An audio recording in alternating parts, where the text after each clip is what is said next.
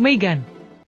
Itulah judul film yang kali ini akan kita bahas alur ceritanya. Film ini adalah karya dari Gerard Johnston. Film ini mewakili dari tahap selanjutnya dalam evolusi sebuah mainan anak yang canggih, yaitu boneka robot. Oke langsung ke alur cerita dari filmnya. Cerita ini berawal dari seorang wanita bernama Gemma. Gemma adalah seorang ahli robotika yang pandai membuat boneka robot mainan di perusahaan mainan bernama Funky, yaitu sebuah perusahaan manufaktur mainan kelas atas di kota Seattle. Produk terbarunya adalah Perpetual Pets yang mana produksi robot menjadi mainan-mainan canggih terlaris. Seperti mainan boneka berbulu mirip Furby yang dirancang untuk menjadi teman yang sempurna bagi kalangan anak kecil. Film ini dibuka dengan iklan Perpetual Pets sebelum kita beralih ke cerita tentang keponakan kecilnya yang bernama Kadi James atau biasa dipanggil Kadi. Kadi adalah anak kecil keponakan dari Gemma.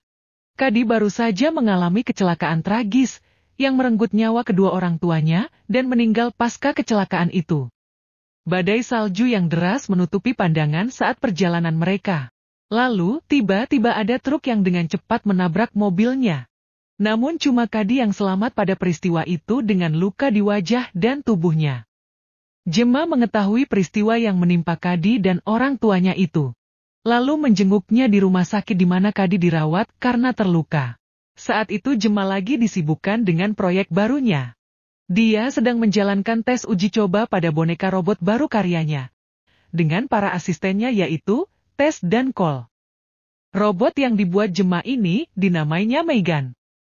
Robot ini didesain untuk menjadi produk tercanggih pada masanya. Karena begitu canggihnya, hingga sulit untuk dipercaya bahwa ini benar-benar robot yang seperti manusia. Namun ini belum selesai masih dalam tahap penyempurnaan. Selama waktu tes percobaan di depan bos mereka yang galak, bernama David dan juga asistennya yang bernama Kuret.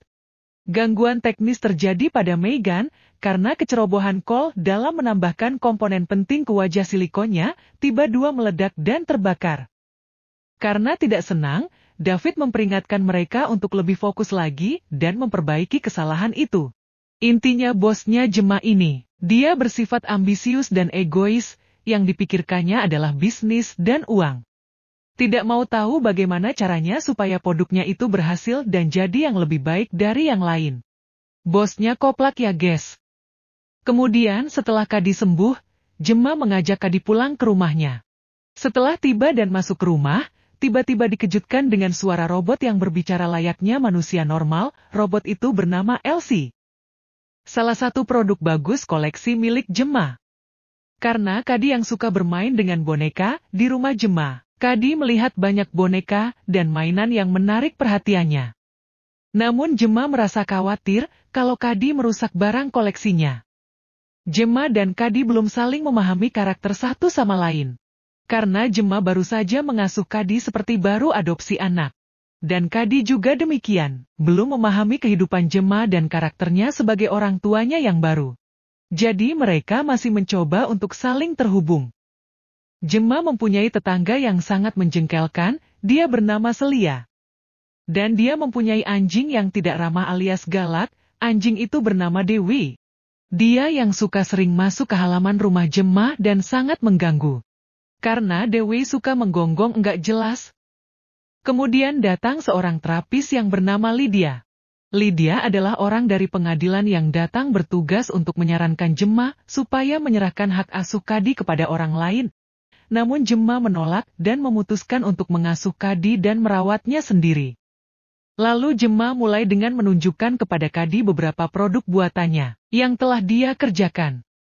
Jema memperkenalkannya pada robot yang bernama Bruce, robot yang dia buat di perguruan tinggi dan bisa dikendalikan melalui penggunaan sarung tangan optik. Kadi sangat terkesan dan mengagumi desain dan sikap ramah Bruce yang sangat komunikatif. Kadi kemudian berkata, jika dia memiliki mainan seperti Bruce, dia tidak akan membutuhkan mainan yang lain. Akhirnya Jema terpikirkan perkataan Kadi, Jema seperti mendapat inspirasi dan tergerak untuk membuatkan mainan untuk Kadi. Gemma kemudian menunjuk Megan dan melakukan peningkatan ekstensif yang kemudian disempurnakan menjadi boneka robot yang canggih. Dan sepertinya berhasil. Kemudian Gemma membawa Kadi dan Megan untuk diajak membuat demonstrasi yang dipertontonkan kepada David dan temannya. Selama demonstrasi itu, Kadi dan Megan berada di ruangan kaca. Mereka terhubung bersama, saling berkomunikasi seperti-seperti melihat pertunjukan film. Megan pun terlihat seperti bukan robot, namun benar-benar manusia yang berbicara dan responsif. Dia berinteraksi dengan Kadi seolah-olah keduanya adalah sahabat. Megan menunjukkan kecerdasan yang luar biasa. Bahkan pemahamannya tentang emosional Kadi. Pertunjukan pun menjadi mengejutkan ketika Megan bisa melukis wajah Kadi yang sempurna. Wajahnya terlihat nyata setelah Megan menumpahkan air di kertas yang dia buat lukisan. David dan yang lainnya sangat terkesan dan kemudian meminta Gemma untuk membawa kembali Megan berdemonstrasi di depan Dewan Direksi perusahaan. Sehingga mereka dapat menjelaskan rencana peluncuran boneka robot Megan ini. Enak sekali ingin memasarkan dan menjualnya. Brengsek banget bosnya ini. Sementara Gemma terus menjalankan lebih banyak tes pada Megan yang menjadi teman dekat Kadi sekarang. Namun tes kemudian mengungkapkan kekhawatirannya bahwa keberadaan Megan akan membuatnya mengasuh Kadi menjadi pekerjaan yang sia-sia. Kemampuan Megan untuk menghidupkan dirinya sendiri dan minatnya pada kematian membuat orang lain khawatir. Jadi Gemma menjadikan dirinya pengguna sekunder Megan, memungkinkan dia untuk mematikannya saat tidak dibutuhkan ketika Kadi tidak membutuhkannya. Suatu hari, ketika Megan sedang bermain anak panah. Salah satu anak panah mainan Kadi terlempar di halaman Selia, namun Kadi tidak melihatnya. Megan membantunya mencari dan terlihat olehnya anak panah itu di halaman Selia dekat batas pagar yang berlubang. Megan kemudian mengambilnya, namun tiba-tiba Megan diserang oleh Dewesia anjing galak milik Selia. Kemudian Kadi datang untuk menarik Megan yang digigitnya, Anjing itu kemudian juga menggigit lengan Kadi hingga terluka. Kemudian Jema yang tahu kejadian itu melapor polisi, namun Selia mengklaim kepada polisi bahwa Dewe diprovokasi dan dengan demikian dia dan anjingnya lolos tanpa hukuman. Pada suatu malam, Megan menirukan suara Selia untuk memancing Dewe ke halaman Jema. Setelah anjing itu datang, Megan menyerangnya dengan kasar dan sampai membunuhnya lalu dibuang hilang entah ke mana tanpa jejak apa pun. Di keesokan harinya, Selia terlihat sedang mencari Dewe, anjingnya. Dia memanggil dan berteriak sambil berjalan mengelilingi sekitar rumah dan jalanan. Di tengah kesuksesan gemilang Megan, Gemma memperhatikan bahwa Kadi menjadi sangat bergantung pada kehadiran Megan. Lydia memperingatkan Gemma bahwa ketergantungan Kadi pada Megan tidak baik untuk kemampuannya yang terlalu mendalami hidup Kadi. Kecurigaan ini terlihat ketika Kadi keberatan saat mengikuti kegiatan outbound sekolah yang tanpa mengajak Megan. Namun Megan tetap dibawanya dengan tapi Megan hanya diperbolehkan untuk diletakkan di atas meja tempat outbound Megan bermain. Kemudian Kadi bermain jauh dari Megan. Kadi yang dipasangkan dengan siswa yang lebih tua bernama Brandon untuk suatu kegiatan di tempat itu. Saat keduanya masuk ke hutan, Brandon tiba-tiba mendekati Kadi dan menyakitinya. Ternyata Brandon ini sangat jahat dan nakal sekali. Kemudian, tiba-tiba Megan muncul di antara mereka saat Brandon sedang membulu Kadi. Brandon terkejut dan kemudian datang menghampiri Megan yang sedang berdiri di dekatnya. Tetapi Megan tidak menanggapi apa pun yang Brandon bicarakan.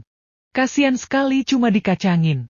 Lalu Brandon merasa dibuat marah dan membawa kabur Megan dengan kasar dan brutal. Layaknya seperti membawa boneka biasa. Kadi kemudian mengejarnya karena khawatir kalau Megan akan dirusaknya.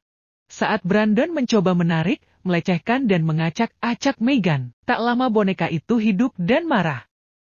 Lalu menyerang Brandon dan menarik telinganya hingga lepas. Mengerikan sekali ya guys. Brandon pun histeris ketakutan, Kemudian Megan berdiri dan mengancam Brandon.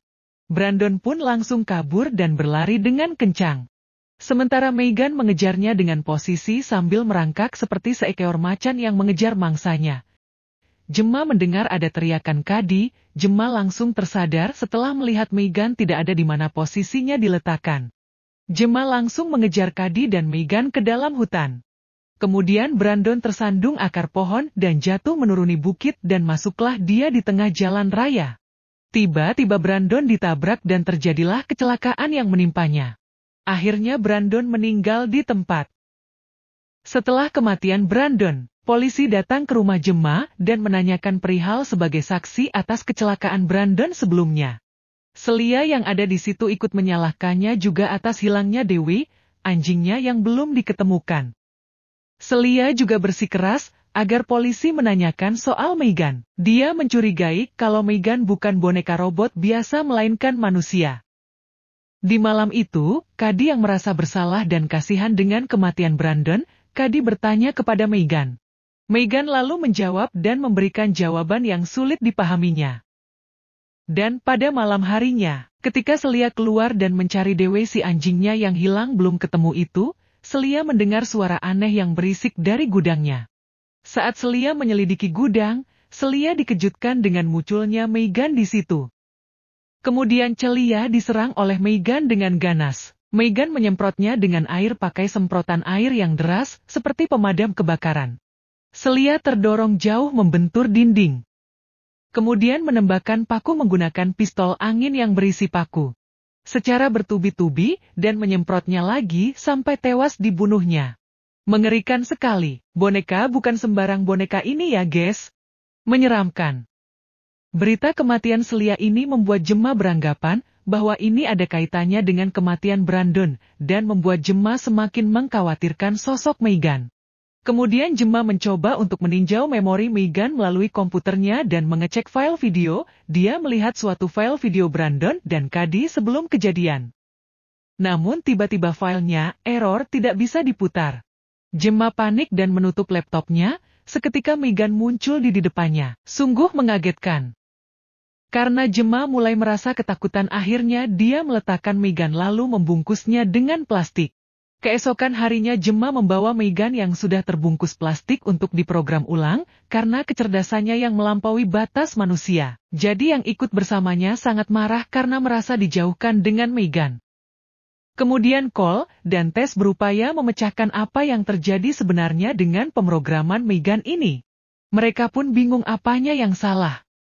Saat Tess dan Cole mencoba mengubah pemrograman Megan, mereka akhirnya mencoba melepaskannya dari kabelnya, tetapi tiba-tiba Megan hidup dengan cepat melawan balik, kemudian melilitkan kawat di lehernya, sampai menggantungnya hampir mati.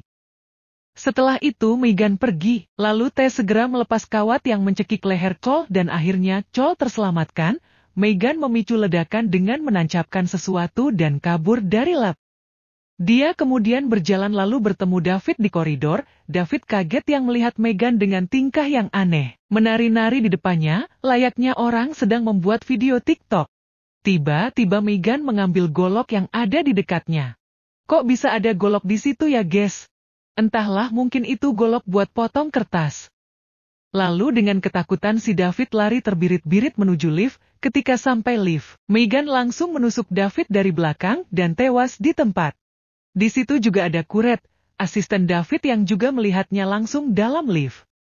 Kuret yang ketakutan bahwa mengetahui skenario dari tujuan di balik pemrograman Megan itu. Dengan demikian Megan juga membunuh Kuret di lift. Megan membuat pembunuhan itu seolah mereka bunuh diri. Kemudian Megan keluar dari lift. Dan seketika banyak orang depan lift melihat mayat mereka. Megan lalu berjalan keluar dari gedung seperti nggak ada beban dan dosa. Dia mengendarai mobil sport yang sudah ada di depan pintu. Anjay, udah kayak sultan yang mau pulang ngantor guys. Jema yang setelah menidurkan Kadi di kamar. Tiba-tiba melihat Megan yang sedang bermain alat musik. Mereka pun cekcok dan akhirnya bertengkar hebat. Jema kemudian memukuli Megan, dan saling membalas. Pokoknya udah kacau balo cetar membahana. Seperti perang dunia. Kadi pun datang dan melihat tengkaran itu. Kadi pun sadar bahwa Megan sudah tak baik untuk menjadi teman karena berbahaya. Akhirnya Cadi ikut melawannya. Kadi kemudian mengaktifkan berusi robot besar untuk melawan Megan. Karena ukuran dan kekuatannya robot yang superior, Bruce dengan cepat mengalahkan Megan dan merobeknya menjadi dua. Namun bagian atas Megan masih bisa bangkit dan mengejar Kadi karena sudah mengkhianatinya. Tetapi Gemma segera menolong dan menusuk wajah Megan tepat di prosesor pusat kepalanya. Akhirnya robot laknat itu mati untuk selamanya. Kemudian keduanya keluar, mereka bertemu dengan polisi yang membawa tes dan kol bersama mereka. Setelah itu di ending cerita, tiba-tiba terlihat robot kecil hidup dan bergerak. Entah apa yang merasukinya, atau mungkin Megan sebenarnya belum sepenuhnya mati. Atau masih ada film selanjutnya. Yandak tahu juga. Selesai sudah filmnya. Cukup menarik dan menegangkan, dan juga membagongkan ya guys. Jangan lupa subscribe ya guys. Saya doakan panjang umur buat semuanya yang hadir dan menyimak video ini sampai selesai. Nantikan video lain selanjutnya. Saya pamit dulu. Terima kasih.